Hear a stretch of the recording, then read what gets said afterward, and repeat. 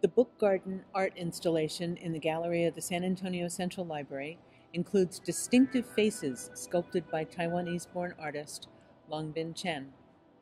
While the busts of iconic Renaissance men appear to be carved from stone, they are built from magazines and catalogs. What is on the inside is as important as the face on the surface. Two of the busts have faces made of book titles. Longbin Chen said he did that to show how a person's character relates to their education and what kind of book one has read.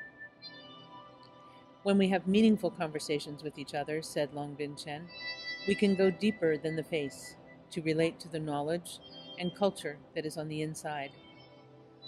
Look behind Renaissance Man and you will see copies of The Big Issue, a street magazine written by journalists and sold by homeless individuals. This one was uh, uh, when I beginning to to cut a Renaissance man, like and I I find uh, the one kind magazine called Bigger Magazine actually was for homeless, for homeless to uh, uh, to go on the street and get some uh, support, and they uh, the public company in in New York office they closed, and the office very close my my studio, and they throw away about thousand copy in the street. Then I bring back to my studio, is, and then beginning to think about how to use in this material because it's very high quality, big size uh, art uh, catalog. All the book I can put inside Renaissance. So it's a good idea. So I, I choose using this to make a Renaissance.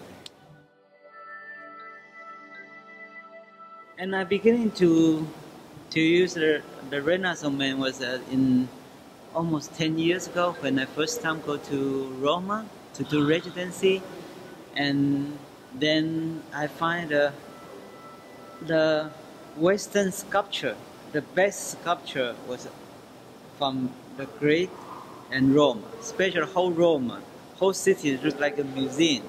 So it's a since uh, 10 years ago, I begin focus on the icon. So I can begin to, uh, before icon, was, I, I make a lot of Buddha. So if you check my website, you will find out a lot of Buddha head. And, and Buddha was my cultural base. My, my, my society, most people was believe Buddha. And using the phone book to make making Buddha was making a lot of sense. Then then 10 years ago, I changed to, to, to make a different icon. Mm-hmm. Uh, Renaissance man was one of big uh, subject. Yeah. Right.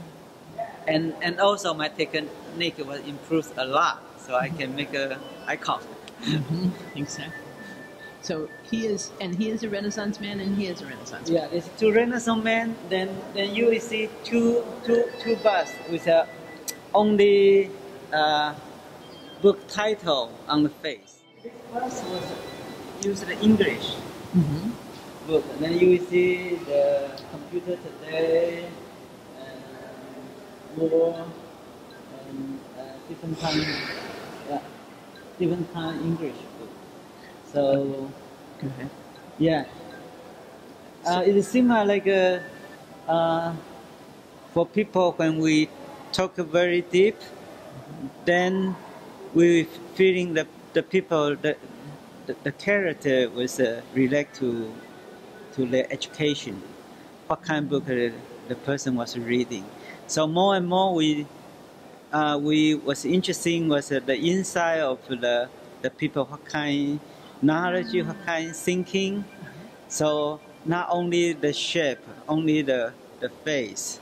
So, so I just make a flat and so is everyone is uh, how we identify each one. It's not only from uh, from the face, from the race, but from from the culture. So here you can see if you you understand Chinese character, uh, some famous Chinese book. And one, two was China can say no. The book China That Can Say No, a 1996 nonfiction bestseller, is subtitled Political and Emotional Choices in the Post Cold War Era. The book supports Chinese nationalism and is critical of U.S. foreign policy toward China and Taiwan. At the same time, all of the authors are critics of the Chinese government. Two participated in the Tiananmen Square protests of 1989, and another was jailed for his pro democracy activities. Through the busts, faced with book titles and Renaissance men built from magazines, the artist demonstrates how books can be transformed into artwork and libraries transformed to museum.